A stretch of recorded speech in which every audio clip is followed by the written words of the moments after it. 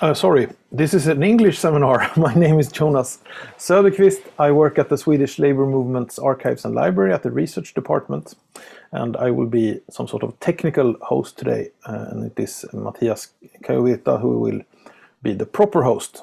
And I hope that uh, I see a few attendees have, have joined us. Um, if you uh, would like to contact us during this uh, or ask any questions, you can use the raise hand um, function in Zoom or write to us in the chat.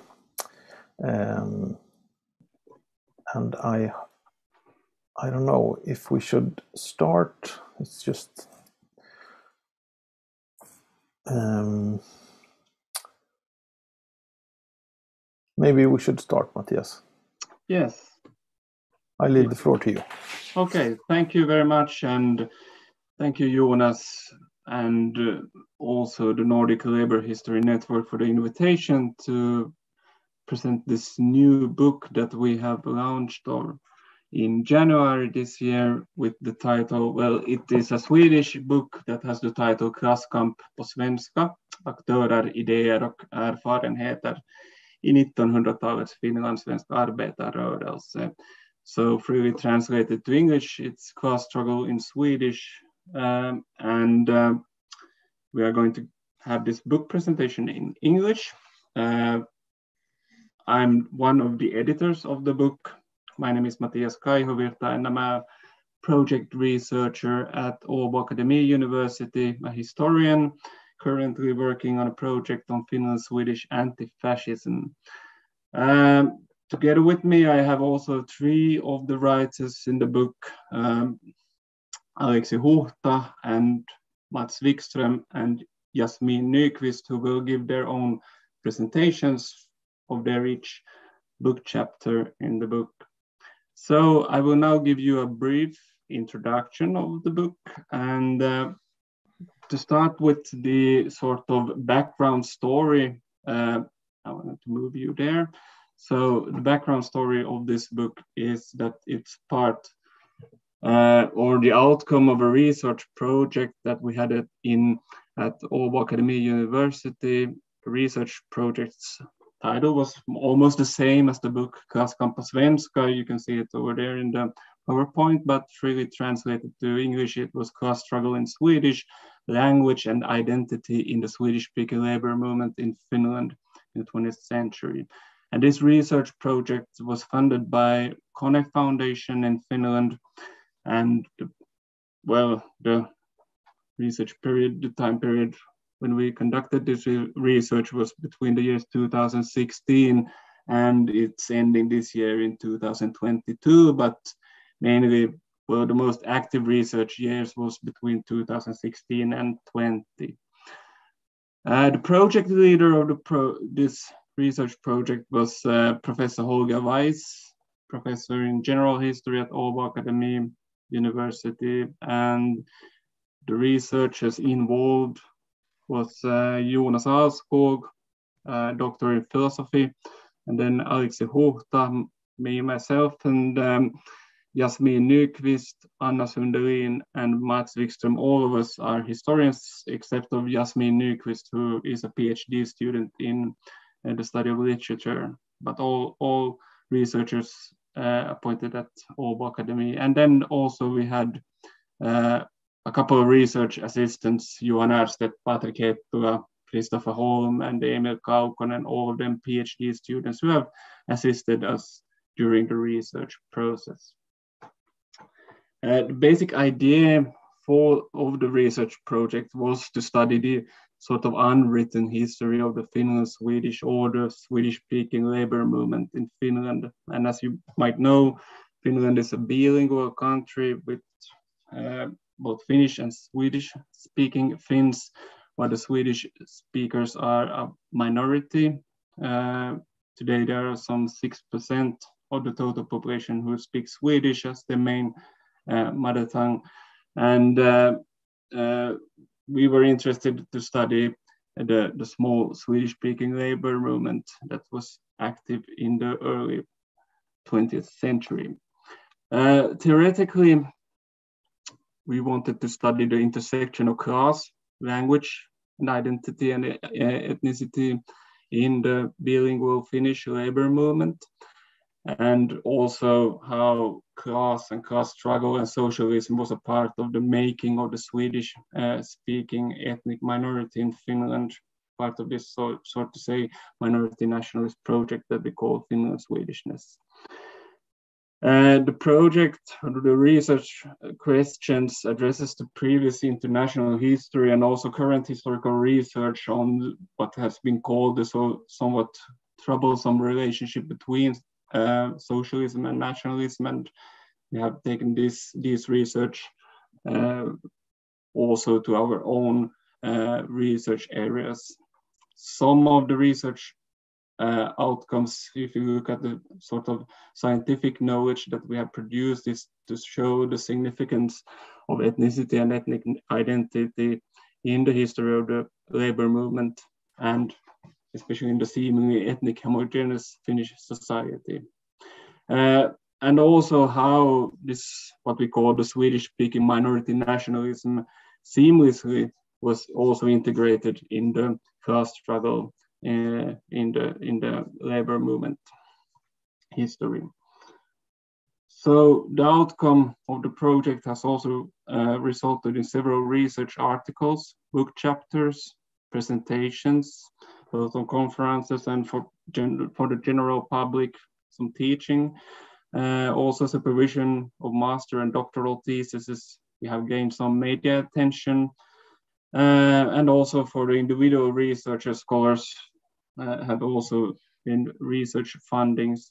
And um, right now we have also in the, so to say, the pipeline, uh, Finnish uh, research anthology that is uh, a Finnish in, in Finnish language where we also present the, some of the research results from the project.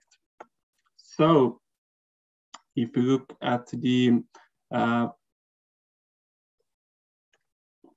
uh, aim of this book, this consists of six case studies of six different individuals uh, that were engaged in the Swedish speaking labor movement in the first half of the 20th century. Here you will see also a, a picture of the front cover of the book. Um, and methodologically, we have made up, but these articles are kind of a combination of biography, social and microhistory, the his study of history of ideas, and also literature studies. And the aim of this each chapter is to study a person, so as sort of a prism to illuminate the lived experience and the use of ideas of socialism and class struggle in Swedish-speaking Finland. Um, this book sort of attempts to narrate a new historical perspective on the history of Swedish-speaking Finland from a class and a socialist perspective, and also to give new angles on Finnish labor history. So the contents you could see here in the pictures, the Swedish um, titles for each chapter. Uh, we'll give you just a short uh, presentation of them. The first is written by me is an introduction that presents the general problems, the uh, research questions that we have in this book. Uh, the first main article is written by Aleksi Huhta about K.J. Vennman, and he will shortly give a, uh, a, presentation of his own book chapter. And then also Mats Wikström will present his chapter on Allan Asplund. Anna Sundelin has written an article on Ragni Carlsson, a female socialist politician uh, who uh, Sundelin studies the very interesting relationship between Swedish-speaking smallholders and socialism. That is a kind of interesting topic during this uh, this era also. And in my own article, I studied the Finland-Swedish social democratic politician Karl Harald uh, and his uh, war resistance during the Second World War. And I'm kind of analyzing his war resistance as a part of the anti-fascist and socialist internationalist discourses and ideas during, during this time period. And Jonas Ahlskog studies Atos Wirtanen, uh, who was uh, also a leading Swedish-speaking social democratic politician who went over to the uh, People Democratic League, that is sort of the left socialist movement uh, in Finnish uh, Finnish political uh, history, and he studies uh, the social democratic visions of unifying the divided Finnish labor movement. And then the last chapter is written by Jasmin Nyqvist uh, about Leogren, and Jasmin will also present her chapter uh, later on. So, uh, the program that will follow is that next up we have Aleksi, who will present his chapter, and then we will continue with Mats. And uh, the last presentation is then given by Jasmin. And after all these presentations, I think there will be some time for uh, questions and comments from the audience. So please, Aleksi, you can start whenever you are ready. I'm going to stop sharing now. So. Yes, thank you, Matias. I will just share the screen. Um, um, and then the slideshow play from start. Okay, can you see these slides? Yes. Yeah, great. Okay, so yeah, um, so uh, my chapter in this in this book is on, uh, like Matias mentioned, it's it's on uh, Carl Johan Vennman, um, who was a um, social democrat uh, politician um, in the 1930s and 1940s. Um, and he originated from the um, Ostrobothnia region of, of um, Finland.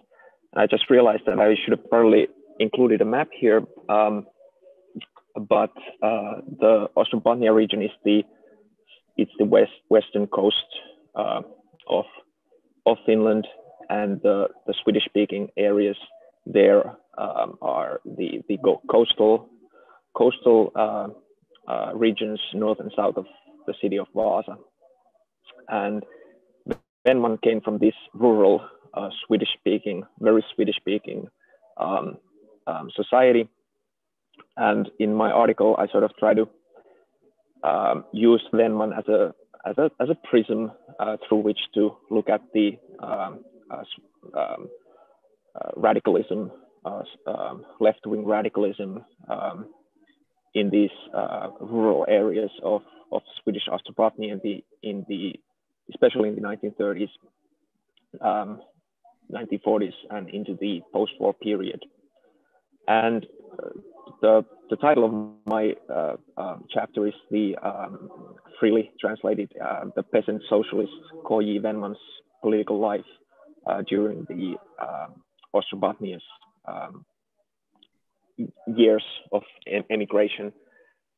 And um, those of you who, who are not familiar with um, with the region. It's it's a quite distinctive uh, um, region. It has, um, especially the Swedish-speaking areas in Ostrobothnia, have all, always had a, a quite close connections to Sweden, uh, linguistically, culturally, uh, commercial links, and so on. But also, uh, it, it's the region where mo most of the um, um, um, immigrants to North America in the late 19th century, early 20th century um, in Finland uh, originated. So it's a heavy emigration region. And in the uh, post-Second World War period, it was a heavy region of emigration to Sweden. So what I'm interested in the chapter is to look at the, the sort of the um, Vennman's political life um, in this context of emigration uh, because uh, emigration in different ways uh, shaped also the life of, of Vennman. He was a son of a former uh, immigrant to the United States. Um, he himself uh, migrated uh, to the United States during the First World War when there was um, a lot of uh, migration uh, from from Närpes, where where he uh, came from, uh, to the United States, um, and uh, much of this emigration was uh, the emigration of young men who were afraid of being enlisted into the Russian army. Um, um, in, in the fall of 1916, there were all these rumors that uh, also Finnish males uh, could be conscripted conscripted to the uh, Russian army, and uh, Vennman was one of the one of the um, young men who who decided to uh, leave Finland to escape this draft, and he went to the States, where he worked as an as an uh, uh, in different uh, jobs, but mainly as as a miner in in the upper upper Midwest. Um, and when he came back in in the in the early 1920s, and when he became really active in in um, radical politics in the 1930s during the years of the Great Depression, this was a period when a lot of um, labor migrants who were moving who were had went to the United States or Canada were moving back uh, to to Ostrobothnia, and many of these young men and women had been uh, radicalized in the Depression era, United States and Canada, and they brought these ideas of of, of uh, radicalism um, um, and communism to uh, to Ostrobothnia. And when man started to cooperate with them and with their support, he was elected to the parliament. And uh, um, and um, and then uh, in the in the uh, post-war years, um, um, many of his own children uh, moved uh, to Sweden uh, as part of this greater migration to the uh, to Sweden. So um, this history of immigration in many different ways shaped um, his his own life, um, and I the the the sort of the goals that I, one of the goals, main goals of, of that I have in this article is to um, look at the ways in which this experience of, of being himself an immigrant and being shaped by this society um, of immigration, how it uh, influenced his, his political thinking, political um, um activities, um, and so on. Um, uh, but I, I'm also interested in uh, uh, to study uh, this this um, rural uh, radicalism in in Ostrobothnia and uh, specifically the left wing variant of of radicalism in in Ostrobothnia because it, it is a subject that has there's been not been much research on it. Um, um, so, um, so that's also something that I try to do in this article is to bring in uh, Ostrobothnia to the uh, sort of the general picture of um, Swedish-speaking uh, radicalism um, and socialism in, in early 20th century Finland.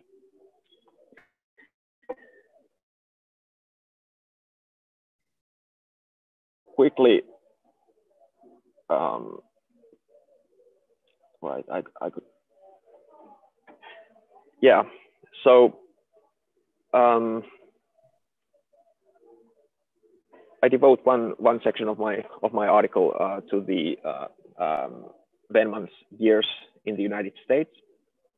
Um, as I mentioned, he he went there in 1916 during the First World War, um, and he was there uh, um, about four years. He, he came back uh, 1920. So, um, and he worked uh, uh jobs at, at mines and, uh, for example, in, in, in the uh, mining town of Butte, Montana, which was a city that had a quite large um, um, following of the syndicalist uh, organization Industrial Workers of the World, and they organized a great strike there in 1917 when when Vennman was there, and uh, later on in life he he uh, uh, sort of attributed his uh, political awakening to to being part of this strike. So he basically found these uh, socialist ideas there, but he also um, because during the time that he was there, uh, United States also entered the First World War in April 1917, and he because he then became afraid that he was going to be drafted to the US Army. So he started to evade authorities there, drafting authorities.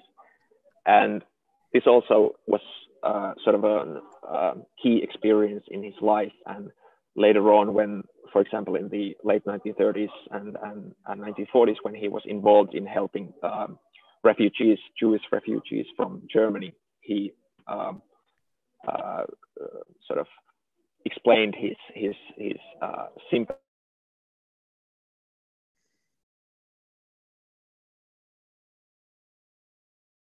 kind of an uh, uh, foreigner who who who uh, was also an outlaw uh, in in in the United States and trying to evade authorities. And um, when he was in the States, he also uh, uh, or the First World War was also a time uh, of sort of the shaping of the Finland Swedish uh, socialist organizations in the United States and uh, uh specifically the town of Butte, Montana, where Vennman was, uh, became, became a center of Finland Swedish immigrant uh, radicalism. Um, and they started to contrib- contribute uh, writings, for example, to the Swedish American uh, Socialist Press and so on. So, um, in a in a quite interesting interesting way, uh, uh, uh, became uh, acquainted with Finland Swedish, specifically Finland Swedish radicalism in when he was a migrant in the United States. Um, um, and Right. Just yeah. So in my article, I, I'm interesting in interested in the ways in which these uh, um, experiences of of um, being an immigrant um, um uh, uh, shaped his his his um, political activities and political thinking. I mean, um, one of the great causes that Vennman fought for when when he was in the in the parliament was was the the peace question. He was a quite devoted pacifist. Um, as I mentioned, he he was involved in helping the refugees, Jewish refugees, um, um, during the Second World War and so on. And but also um, in the post post war Second World War period, uh, when there was when there was this great uh, emigration to Sweden, uh, became also quite involved in uh, different kinds of campaigns to sort of um, uh, um, uh, resist uh, uh, resist emigration um, because he was afraid of afraid of um, that Ostrobothnia would lose all its young men and women, and he was afraid for for the future of this uh, rural society in in and, and peasant society in uh, in Ostrobothnia. So he was involved in different kinds of projects to bring industrialization and in industries um, um, to Ostrobothnia to um, resist this emigration. And um, also this, uh, I argue in my article, um, um, this uh, sort of criticism towards um, immigration was also something that he he uh, took away from his own experiences of of being of uh, having to leave Finland um, um, and uh, being uh, uh, torn away from from from his family and and, and society and so on. So um, in my article, I, I try to look at these different uh, different ways in which the, this um, uh, experience of migration shaped his thinking.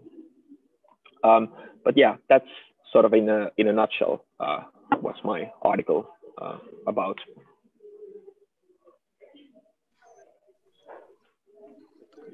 Okay, thank you, Aleksi.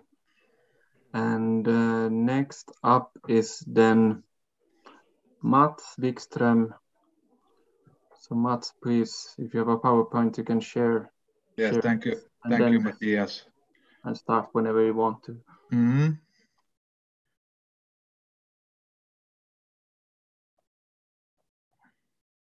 Uh -huh.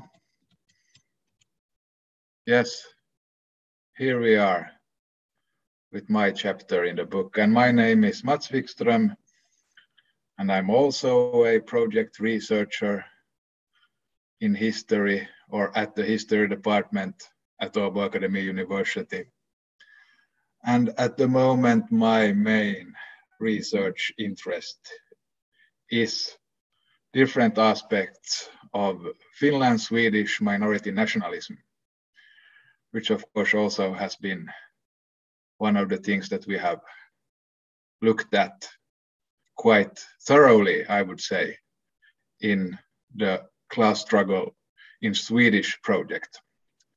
But now to my article or chapter in the book, which is probably the most biographical text in the book. And it's about a Finland Swedish proletarian and lifelong communist called Allan Asplund.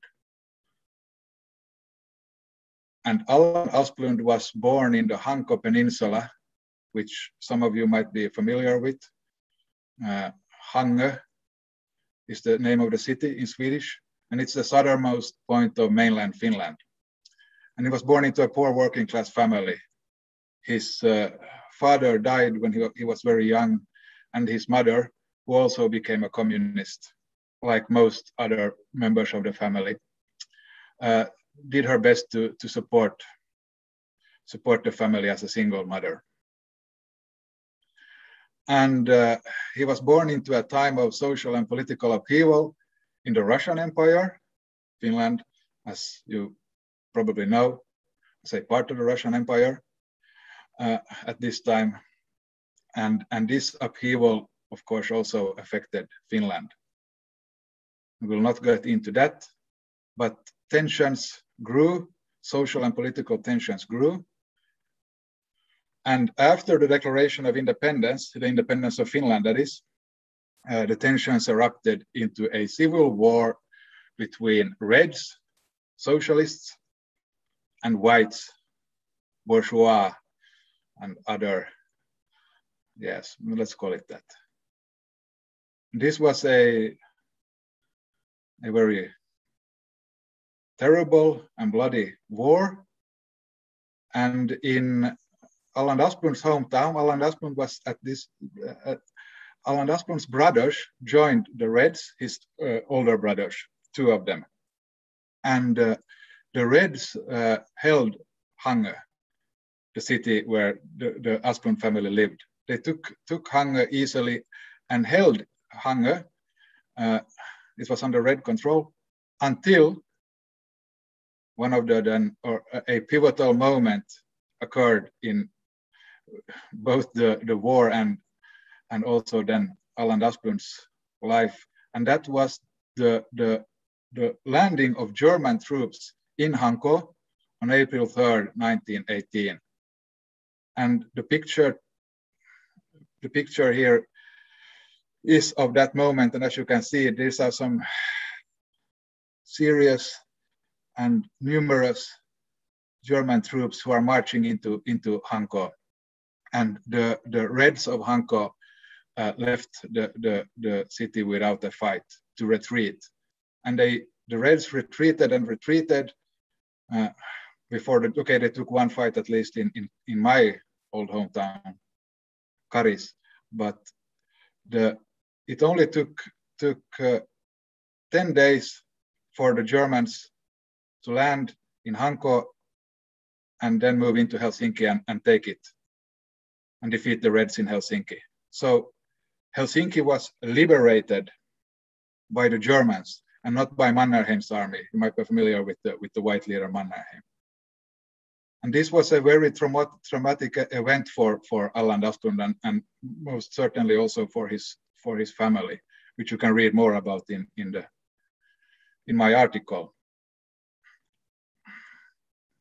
Also because the, the, the, the both of the elder brothers of Allan Asplund, they survived the war, but they were put into, into the, the red prison camps of the whites where they starved.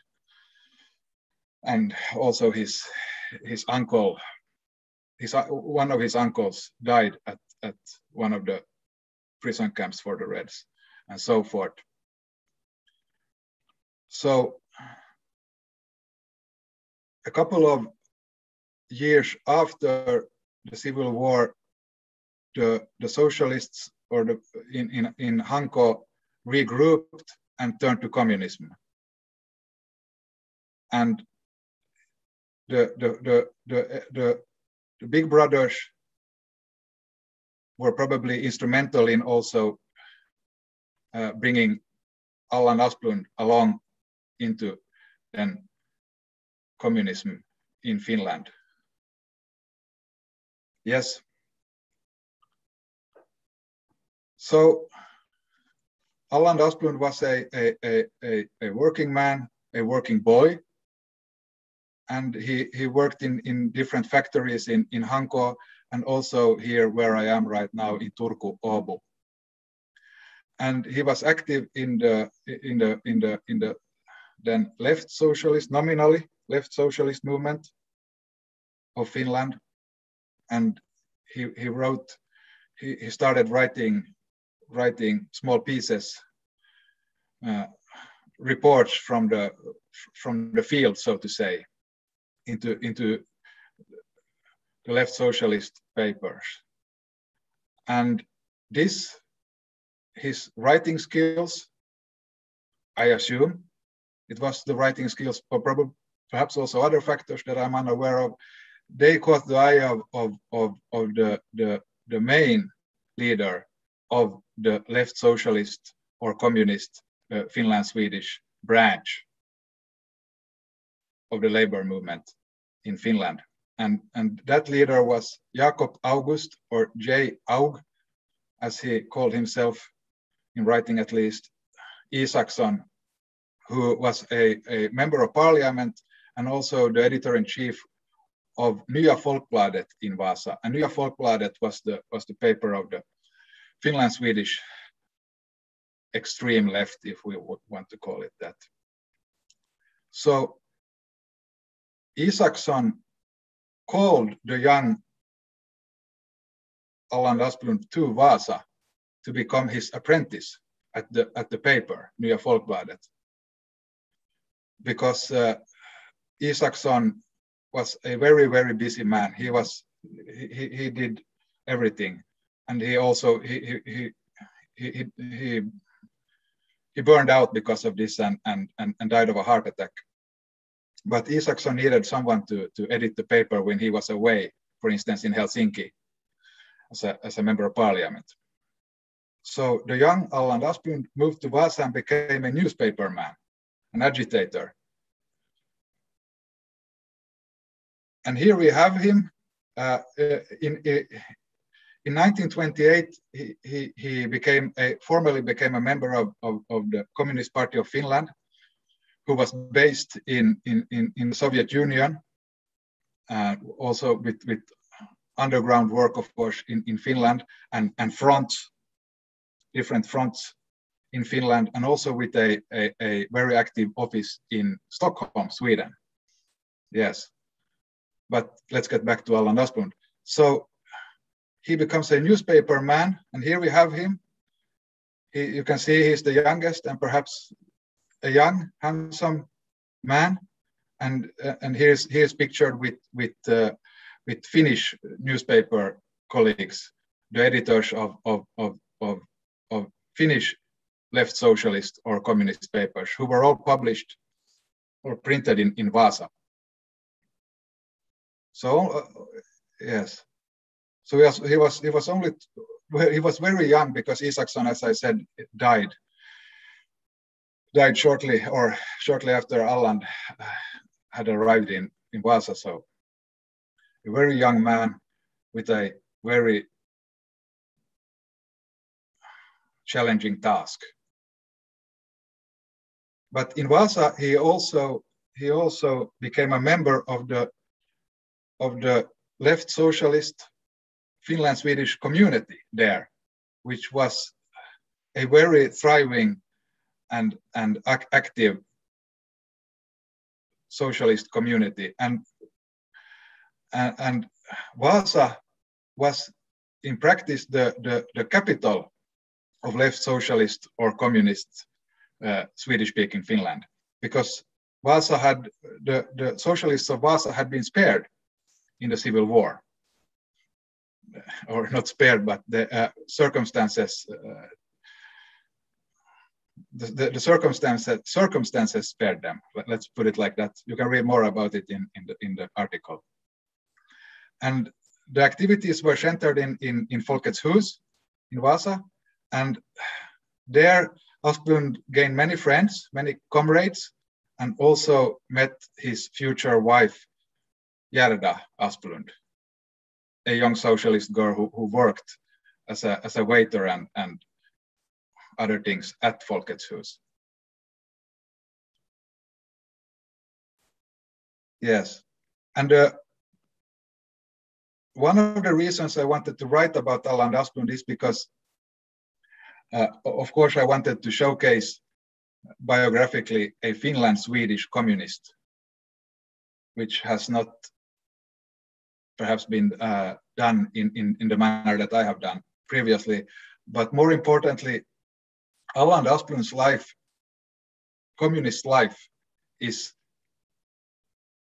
very intertwined with the with the politic, with, the, with the political history of the communist movement in Finland. As, as, as I already told you, uh, the, the Civil War was, of course, a pivotal moment, which it was for the whole of the labor movement in Finland. And, and as a consequence of the Civil War, the, fin, fin, Finnish communism was, was established. And uh, Finnish communism also suffered a, a huge blow uh, in 1930 due to the due to the rise of the, the far right or, or one could all, say fascist Lapua movement, which you might have heard of. Who, who, through terrorism and, and, and mass meetings and also a march on Helsinki uh, forced the government who, who was not unwilling to enact the so-called communist laws, which banned, completely banned communism, which was banned, of course, already, but banned everything associated also with communism in Finland.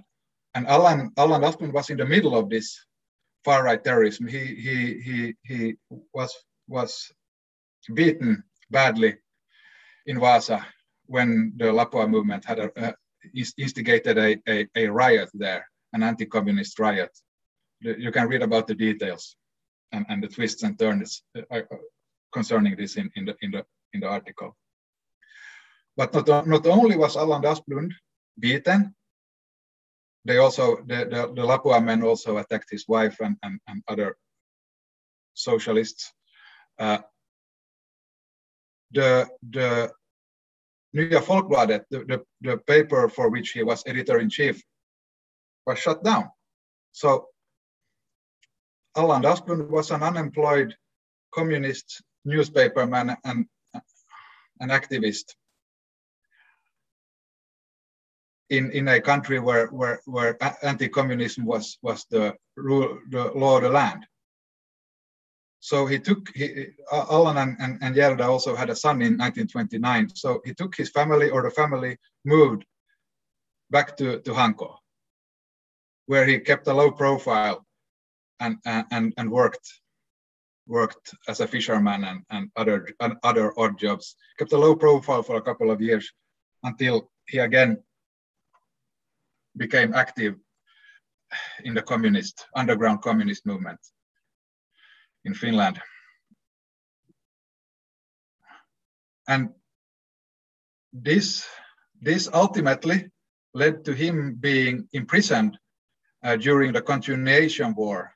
Uh, that, that is the, the, the Finland's war against the Soviet Union after the Winter War, when Finland was allied with Nazi Germany and attacked the Soviet Union to, to take back Karelia and also in the in the, the aims of the, the, the many Finnish nationalists to, to create a, a greater Finland.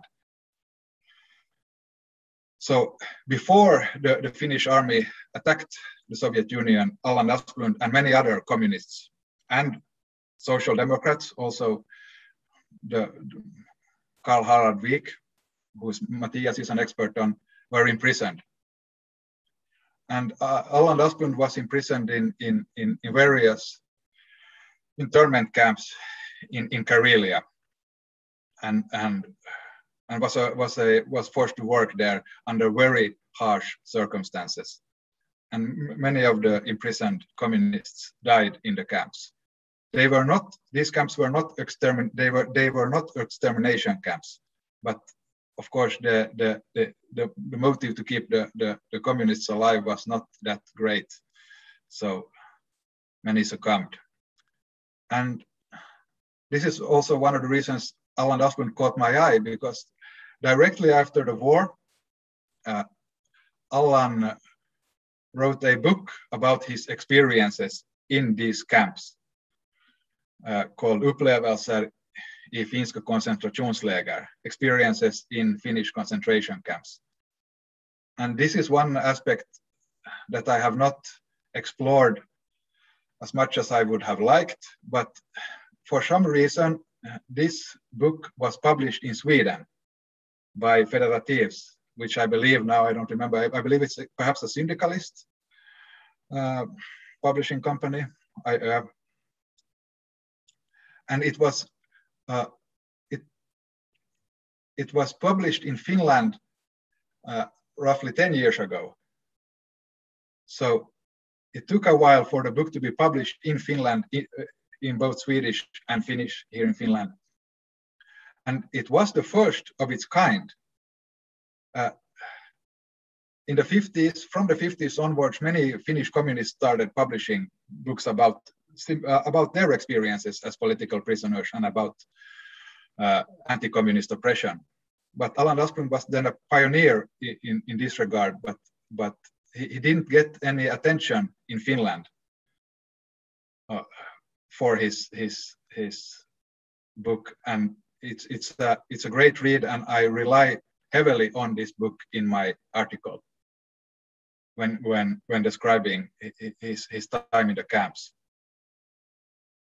Yes, and the experiences they laid heavily on on Allan Asplund. He was he was pretty much a broken man after after his his his internment, but he only he only took a couple of, of weeks to recuperate in Hanko. Of course, he went home directly after he was freed. The Soviet Union basically freed him from the camps after Finland lost the lost the war. And, and, and immediately, this is also very interesting, but I, I haven't. He immediately returned to communist activism, and again then as a newspaper man. And he, he moved to Helsinki to become the become an editor of of of, of Ny Tid, who was the the paper of the People's Democrats, a left socialist communist alliance in, in one of the biggest parties in, in, in post-war Finnish politics. And this was Ny Tid was then the the, the, the Swedish speaking paper of the People's Democrats. And he he worked with he worked Allan Asplund made sure that that Ny Tid it had it was also called other things, but that Ny Tid came out. He, he was the main man uh, in in in publishing the, the paper, even though he, he, he was editor in chief only only for a very brief period. So communism for Allan Asplund, it was it was what he did, was his life. And here's a picture of Allan Asplund uh, in the 50s, I believe. I, I, it's, it's undated, the picture. Uh, from, from a, a, a, meeting of, of Finland Swedish People's Democrats, most of them communists. And yeah, middle-aged Allan Asplund. And I, I am, of course, biased and, and probably prone to projection, but I see a kind of thousand yard stare in his eyes. But that might just be me, and I haven't done any visual analysis in the in the chapter either. But but he he he and and, and he died when when when working with the with the print of of, of Ny Tid. So he died on his feet working with his his final paper. Yes. Uh, but please read more about Allan Asplund in, in a very concise manner in, in my, my article. Yes, and that's it for me. Thank you. Thank you, Mats. And then we will take the last presentation for today. It's Jasmin, and Jasmin has also a PowerPoint and can start when you are ready.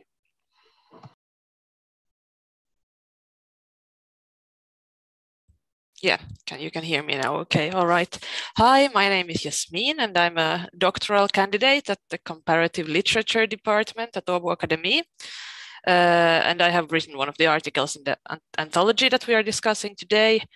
And uh, the name of the article is uh, The Religion of Bread and Humanity, Socialism, Belief and Doubt in Leo Ågren's Kungsådern trilogy, especially Fädrens blod, which is the third part of that book that that book series and uh, my research interest revolve, revolves around questions of social class and how these are expressed in literature and mainly then in uh, the in the the literature of two Finnish Swedish 20th century authors, uh, Anna Bondestam and then Leo Ågren, who this article is about.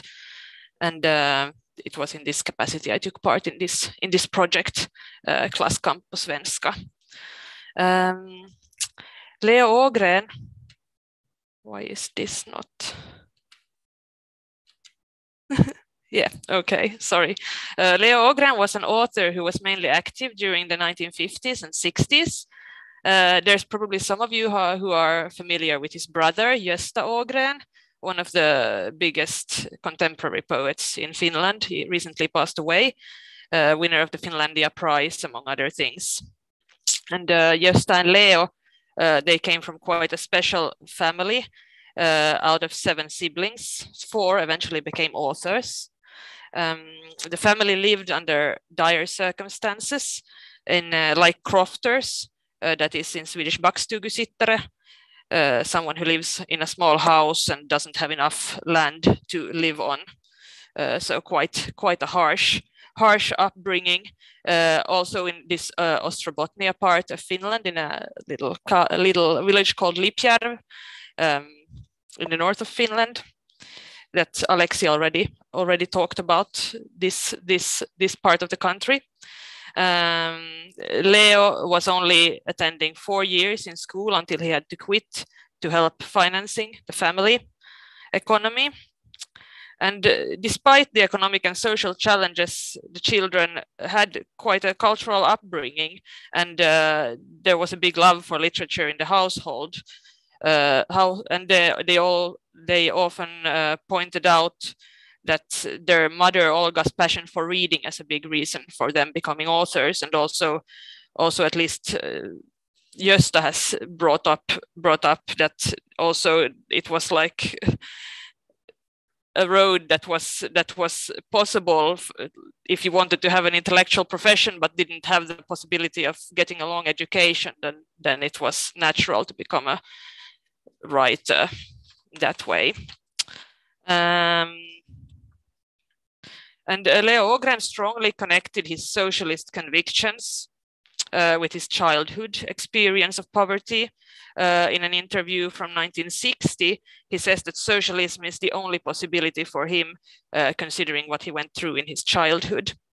And his first novel, Hunger i skördetid from 1954, in English, something like uh, Hunger in Harvest Time, uh, was partly autobiographic, biographical, and it describes in sketch-like episodes uh, the everyday life of an 80-year-old boy uh, living in a poor family of crofters in the ha first half of the 20th century.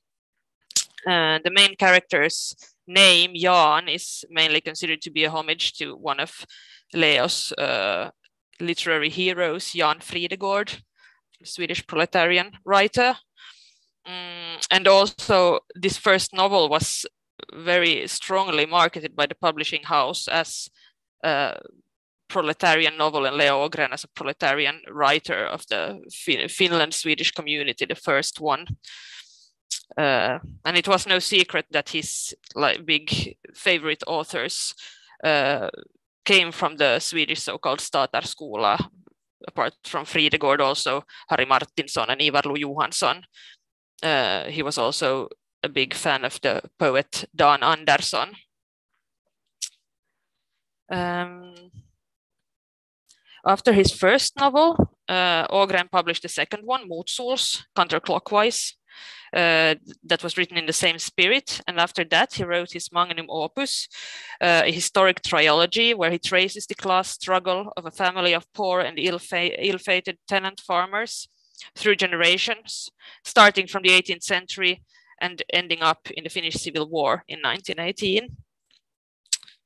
Uh, the books were named uh, Kungsådern, The King Wane, uh, När dör, When the Gods Die, and Fädrens blod, The Blood of the Fathers. Um, interesting, inter interestingly enough, the trilogy was published at the same time as Väinö Linna's canonical historical trilogy about the same subject, Täällä Pohjan tähden alla, Here Beneath the North Star in English. Seemingly a mere coincidence, but but the enormous shadow that Linna's trilogy cast might had, ha, have had an impact on how how Leo's trilogy was perceived by the critics. Uh, Leo Ågren was an active member in both the Finnish People's Democratic League and in the local peace association in Jakobstad, where he lived at the time and worked as a typesetter for the local newspaper. And he often called himself a socialist. But his relationship to socialism was not unproblematic. Uh, he seems to have had a deep-rooted skepticism against any idea that claimed to be all encompassing. And he was very conscious about the underlying risks of giving in to an ideology.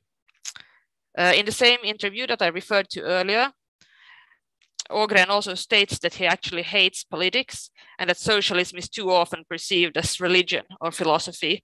For him, socialism seems to have been a strictly material matter, a struggle for better living standards for ordinary people, which for him was mainly then workers and poor farmers. And this ambivalence towards the socialist ideas is something that Ågren explores in this trilogy. And in my article, I'm, I argue that he does this through using the concept of religious belief, both as a parallel and as a contrast. Uh, when Ågren wrote these novels in the end of the 1950s and the, in the beginning of the 60s, uh, ideas about secularizations were secularization were dominating themes in both the academic and the public discussion. Uh, according to these ideas, religious belief was regard regarded as a phenom phenomenon that did not have a place in modern society and therefore naturally would fade away over time. Uh, when it comes to research in the workers' movement and its 20th century history, these ideas often led to religious aspects of working class uh, life being looked upon as peripheral phenomena, exceptions from the dominating atheistic mainstream, and mainly ascribed to women and people from the countryside. Uh, in this context, questions about the relationship between socialism and religion were conceived as irrelevant and uninteresting, uh, even though research already then had suggested that the, that the early socialist movement and also the sobriety movement, rhetorically as well as structurally, were based on a form created by religious institutions and carried, carried in them a worldview strongly influenced by a really religious way of thinking. Uh, later research in social history and working class history has re-evaluated the role of religion in the early 20th century society, and today it is perceived as an organic part of the society of that day. Uh, but the Kungsådern triology is characterized very much by anti-clericalism. That is a movement that is opposed to religious institutions, uh, institutional power, and influence in public and political life. And this is quite typical for the, for the proletarian literature of that time, I believe. Uh, the church is depicted as supporters of the oppressing rulers, and the priests are either selfish and unscrupulous and taking advantage of their menials, or then they are just stupid and misled. Uh, and the institutions in power, namely the king and the county, county administration, are cooperating with the church in order to oppress the people in these novels. Uh, one might think that this kind of anti clericalism would lay the ground for quite a black and white depiction of religious belief. But and many times the, this anti clericalism also has been uh, perceived as anti religiosity.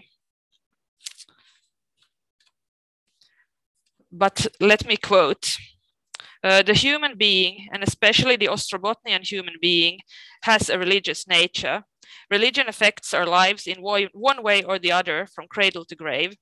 Nobody can reach the mature, a mature age without being influ influenced by religious concept. Um, this is what Leo Ågren wrote in an editorial in the local newspaper Jakobstads Tidning uh, under the headline of The Moral of Jehovah. Uh, having grown up in the Swedish speaking part of Ostrobotnia in the north of Finland, uh, where there was a strong free church tradition, he might have felt the acuteness of these questions stronger than other, others, but Ågren's actions must still be considered as a kind of anomaly in a time when these questions were highly unfashionable, both in the intellectual and the socialist circles. Uh, in, this in the text, Ågren declared himself an atheist, uh, which not surprisingly stirred up a major storm of debate. But the editorial was actually not oppressed, op opposed to religion as such, even if it was interpreted in that way by many. Uh, instead, it showed an openness and an interest in religious matters. And Ågren even called the question of God's existence the big question and suggested that it actually should be the most pressing issue in the so called cultural discussion. And the chief editor at the time, Anders Huldén, actually called Leo Ågren a searcher. Uh, and I was also surprised myself that my article, when I wrote it, came to revolve so much around religious beliefs. Uh, I didn't see that coming when I started out with the aim of examining how socialism is depicted in the trilogy. Uh, perhaps my own academic thinking also has been quite influenced by secularization ideas but in, when I read the trilogy, it was quite impossible not to notice how much space issues about faith and religion took. Uh, the name of the second part is, after all, when the gods die. And uh, my article was somehow born out of this awareness that what at first glance looks like anti-religiosity actually is an in-depth analysis of the mechanisms of faith, uh, be it sacral or socialist or other. In Fädrens blod, the last part of the trilogy that takes place during the Finnish Civil War, Rolf Eriksson, the main character, who is a socialist and fighting on the red side in the war, calls socialism the religion of bread and humanity. And I think that captures something essentially my understanding of Ågren's perception of socialism. And I think it's, it's it, this, this perception also is reflected in many other uh, ways in the triology a complete dedication to socialism can, like fanatical religious belief, take over your existence and push away the material and the human aspects of life that it originally was set to guard? Is it the big words that have become gods and require sacrifice? asks Eriksson, when the white and red rhetorical warfare was at its worst in a Finland torn apart by civil war. At the same time, faith is never fully discarded, uh, but it's also portrayed as a source of strength in difficult times, like when Eriksson and his comrades from the local workers' union are sitting locked inside the clubhouse waiting for their execution. Through singing the International together, they manage to collect strength and a sense of belonging that makes them able to meet their destiny with open eyes and calm knowledge of their own position. So the tension between, on the one hand, the positive and negative power that is built into a belief, and on the other hand, on the double-sidedness of socialism as partly a material matter and partly an ideological one, is what I perceive as the driving force of the triology. And this is what I try to capture in my article. Yeah. So thanks. Thank you very much, Jasmin. And this was all three presentations